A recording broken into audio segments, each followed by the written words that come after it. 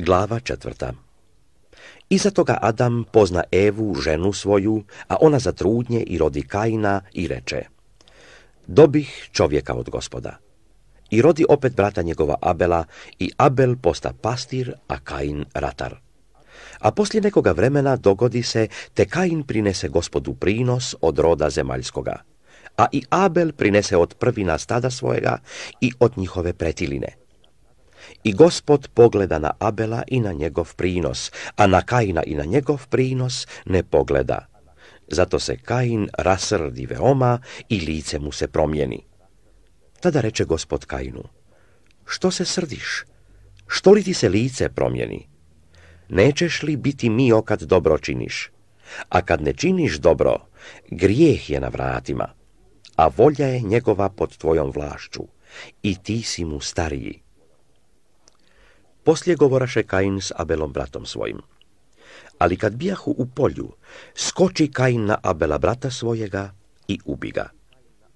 Tada reče gospod Kainu, gdje ti je brat Abel?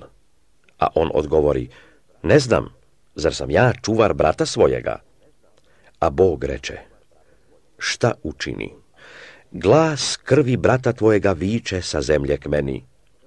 I sada da si proklet na zemlji koja je otvorila usta svoja, da primi krv brata tvojega iz ruke tvoje. Kad zemlju uzradiš, neće ti više davati blaga svojega. Bićeš potukač i bjegunac na zemlji.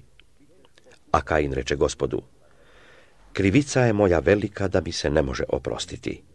Eto me tjeraš danas iz ove zemlje, da se krijem ispred tebe i da se skitam i potucam po zemlji, pa će me ubiti kome udesi. A gospod mu reče, zato ko ubije Kaina, sedam će se puta to pokajati.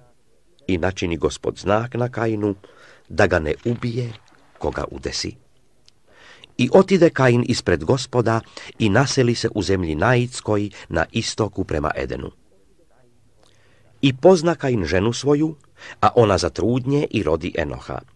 I sazida grad i prozva ga po imenu sina svojega Enoh. A Enohu rodi se Irad, a Irad rodi Mavijaela, a Mavijael rodi Matuzaela, Matuzael rodi Lameha. I uze Lameh dvije žene. Jednoj bješe ime Ada, a drugoj Sela.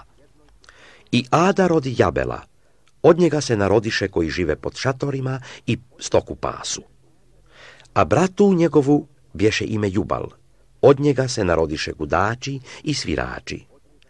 A i sela rodi Tubalkajna, koji bješe vještkovati svašta od mjedi i od gvožđa.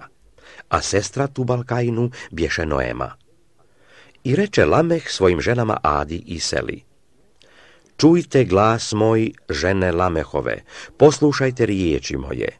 Ubiću čovjeka za ranu svoju i mladića za masnicu svoju. Kad će se Kain osvetiti sedam puta, Lameh će sedamdeset i sedam puta. A Adam opet pozna ženu svoju i ona rodi sina i nadje mu ime Set. Jer mi reče, Bog dade drugoga sina za Abela kojega ubi Kain. I Setu se rodi sin kojemu nadjede ime Enos. Tada se poče prizivati ime gospodnje.